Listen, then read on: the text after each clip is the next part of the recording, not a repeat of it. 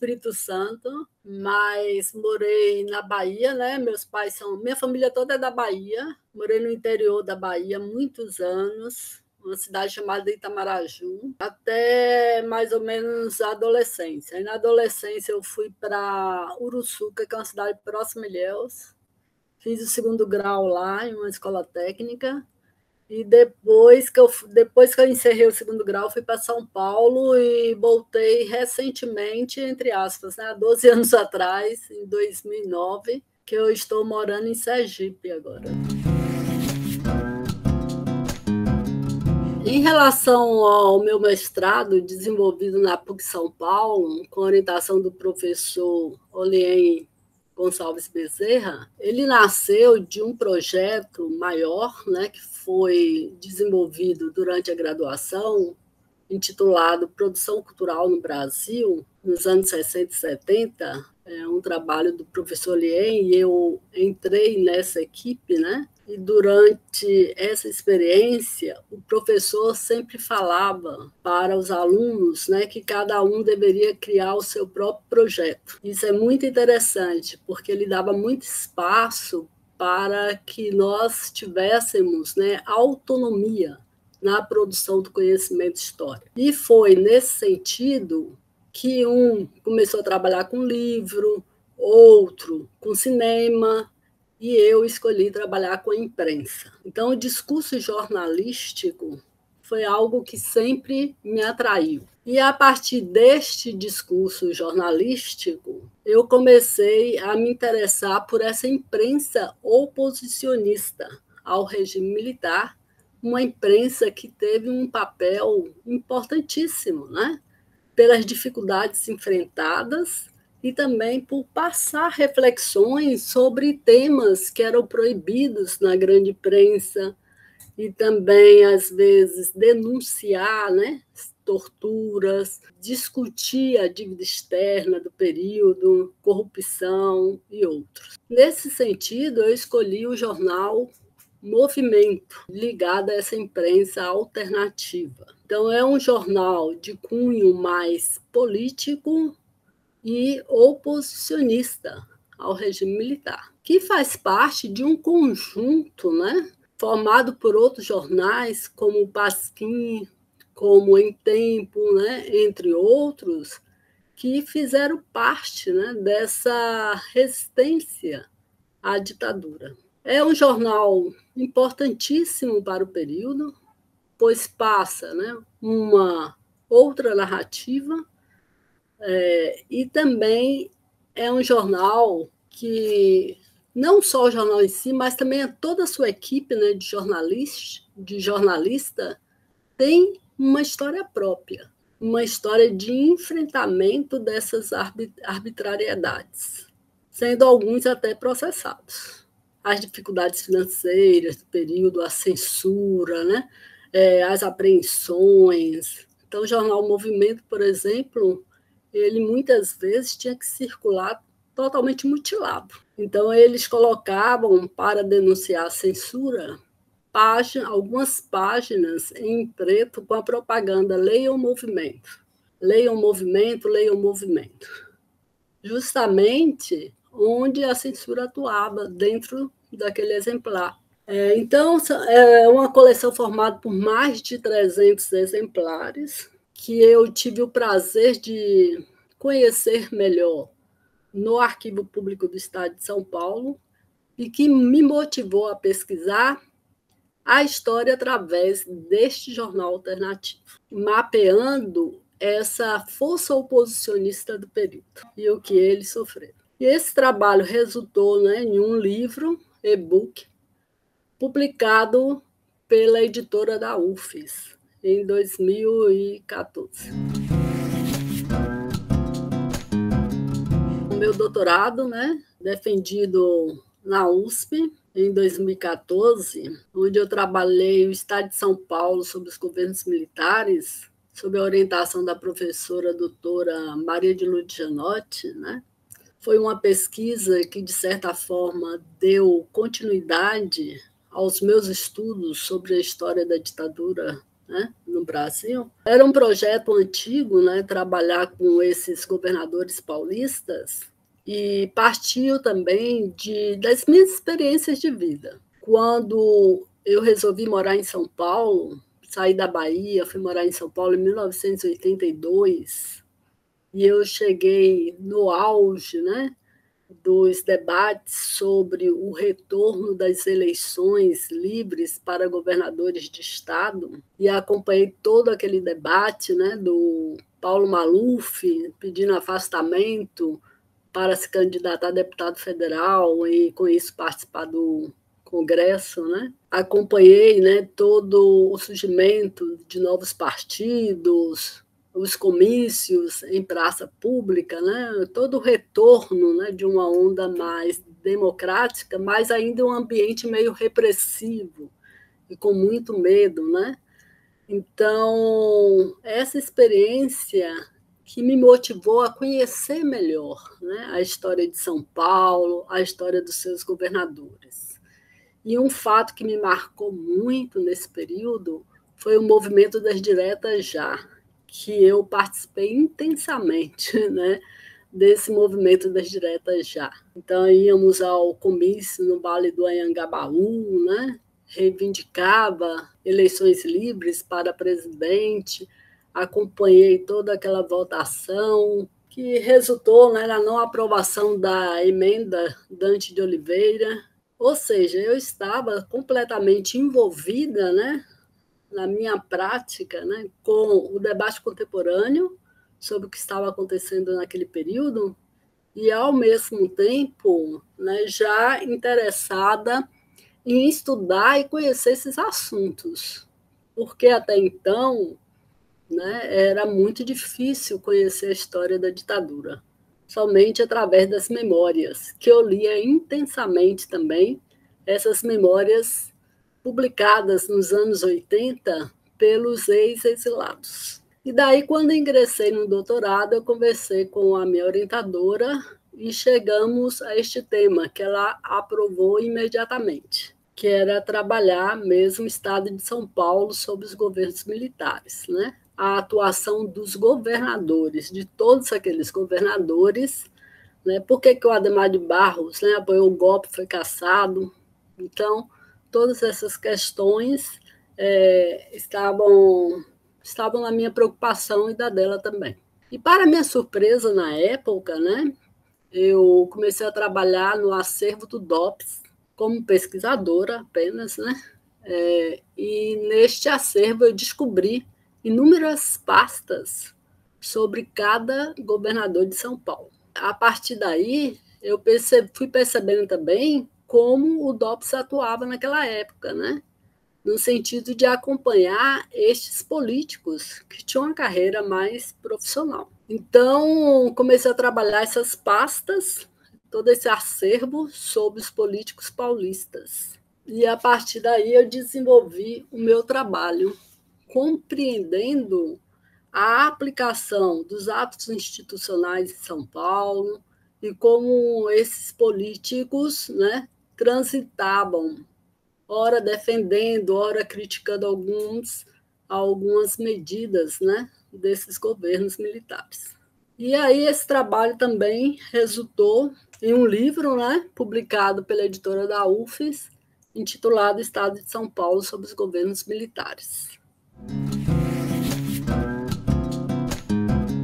Quando eu ingressei na universidade, aqui Universidade Federal de Sergipe, o tema da ditadura aqui era pouco abordado. Tinha um pesquisador intelectual, um cientista político, Ibaré Dantas, que escreveu uma obra muito interessante, A Tutela Militar em Sergipe, que me inspirou muito. E a partir daí também eu fui pensando sobre os políticos pauli os políticos sergipanos de oposição ao regime.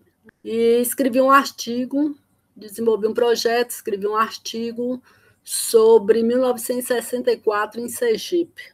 E neste artigo eu trabalhei basicamente a trajetória política do governador Seixas Dória, né, que foi um governador cassado em 1964 por ter apoiado né, é, o governo Goulart e todas as reformas de base. Foi cassado, foi preso e deixou muitas é, memórias. Né? Ele escreveu uma obra de memória durante a sua prisão, Eu, Réu, Confesso, e depois artigos né, e outras obras interessantes. E além do Seixas Dori, eu trabalhei também com alguns deputados que foram caçados pela Assembleia Legislativa do Estado de Sergipe, em função também do seu apoio às reformas de base e ao governador Seixas Dória. Os mandatos de segurança né, foram fontes importantes é, neste trabalho. Em Sergipe, nós temos o Arquivo do Poder Judiciário, que é um arquivo bem organizado, rico em documentação sobre o estudo deste período.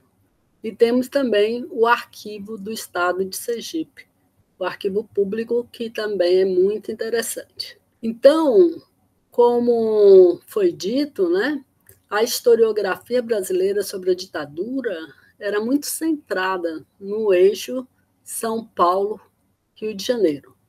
Hoje, não mais.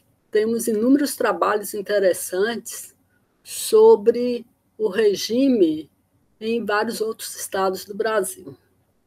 Então, Sergipe hoje já é bastante conhecido nacionalmente, toda essa história, e o eixo principal assim do estudo aqui em Sergipe é a história do governador Seixas Dória, que marcou toda a história nacional. Além disso, os políticos caçados e o movimento de resistência, liderado por partidos comunistas. Então, houve aqui também a Operação Cajueiro, em 1976, que culminou na prisão de várias pessoas, né? em sua maioria é, comunistas. Então, é um estado importantíssimo no estudo deste período, justamente porque traz né, essa contribuição da luta oposicionista né, no Brasil. Né? Então, a partir daí você percebe que as manifestações oposicionistas não ocorreram só na região sudeste. Né? Você tem várias manifestações oposicionistas em outros estados do Brasil.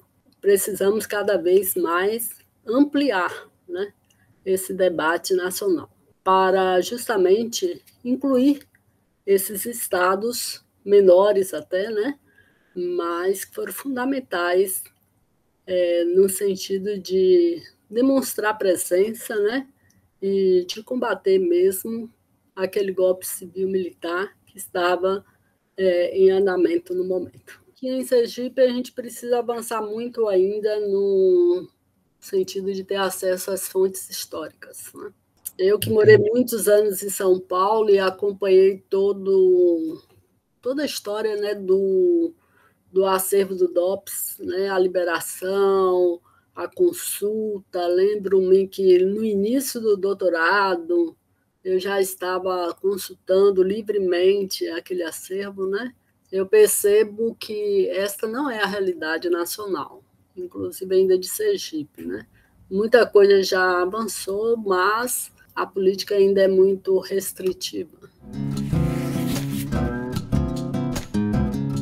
Pensando um pouco a minha trajetória né, profissional, é, como eu cheguei até a Universidade Federal de Sergipe, onde eu atuo no Departamento de História no momento, é, eu fiquei pensando muito assim no momento atual que estamos vivendo, né, de crise sanitária, e o quanto é difícil né, você refletir sobre essa trajetória neste contexto convivendo com várias famílias destroçadas. Mas, ao mesmo tempo, eu vejo que este projeto é um álibi, um álibi, né?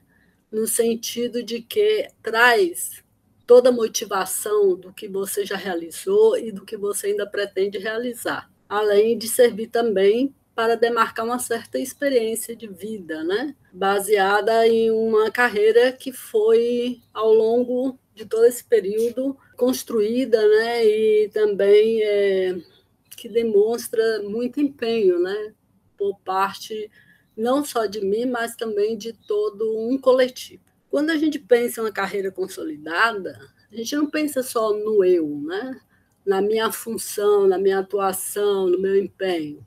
Eu penso muito nessa carreira como uma obra coletiva. Eu tive inúmeros professores, alunos, né, que me influenciaram muito durante todos esses anos, é, com mais de 32 anos já de experiência. Então, essas referências foram fundamentais para demarcar essa experiência de vida. Eu sempre né, tive vontade, desde a adolescência, de ser professora, pois minha mãe foi professora primária e ela sonhava assim em ter filhas professoras em casa. Em alguns momentos, essa carreira foi abalada, né, porque a gente fica refletindo sobre a questão salarial, todas as dificuldades enfrentadas.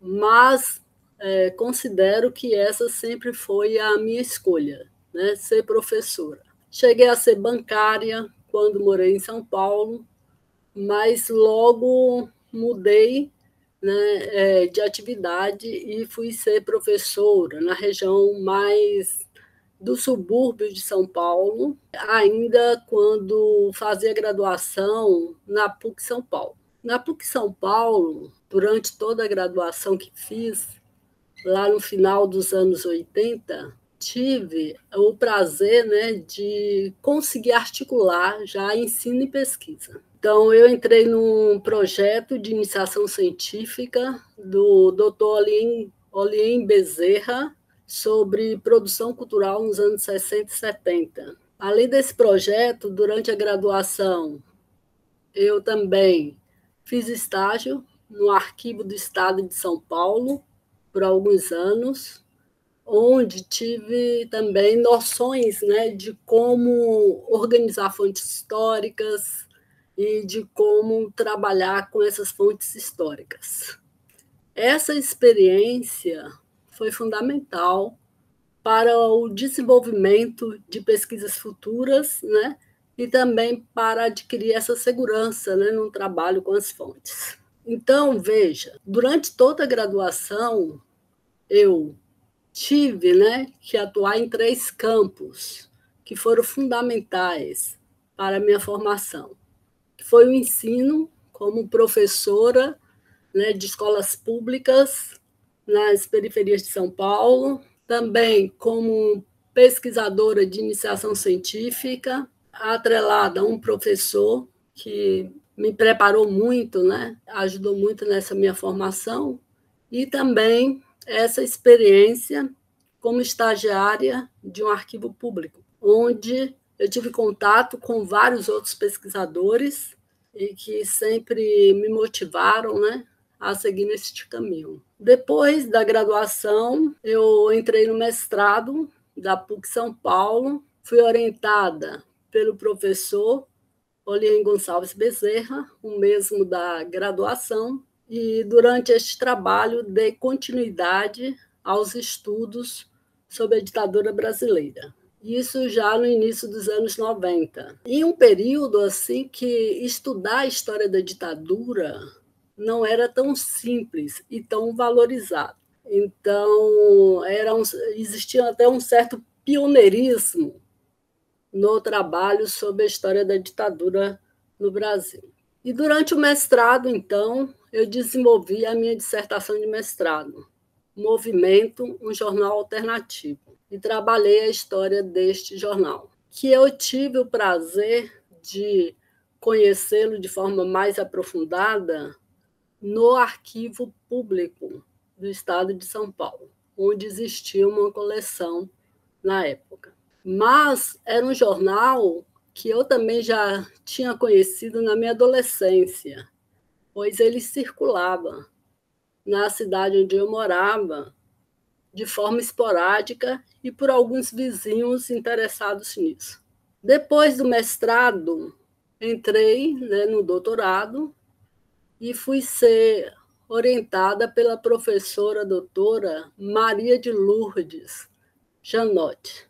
e eu fiz o doutorado na USP, onde eu trabalhei os governadores de São Paulo na época da ditadura. Então, o título da minha dissertação foi é, O Estado de São Paulo sob os governos militares. Né? Então, eu trabalhei bastante todos aqueles governadores, Carvalho Pinto, Abreu Sodré, Laudo Natel, é, é, Paulo Egídio Martins, Paulo Maluf, né? para compreender a participação dos civis durante o regime de 64. E eu percebi durante todo esse trabalho que não foi só um apoio né, ao regime de 64, mas realmente esses civis eles contribuíram para aplicar né, as determinações dos governos militares. Então, os atos institucionais, né, as perseguições políticas que existiram em todo o Estado, a montagem do aparato repressivo em São Paulo. Então, você tem uma participação intensa né, dos civis neste período. E depois do doutorado, eu né, em, é, trabalhei muito, em muitas universidades particulares de São Paulo, a Universidade de Guarulhos, a Universidade Camilo Castelo Branco, e entre outras, né? E depois é, dessas experiências, por um período bem grande nessas universidades, eu ingressei via concurso público na Universidade Federal de Sergipe. Então, desde, mil, desde 2009, que eu moro em Aracaju e estou ligada ao colegiado do programa de pós-graduação de História e ao Departamento de História da Universidade Federal de Sergipe. E atualmente ainda continuo né, nessa função como professora associada 2.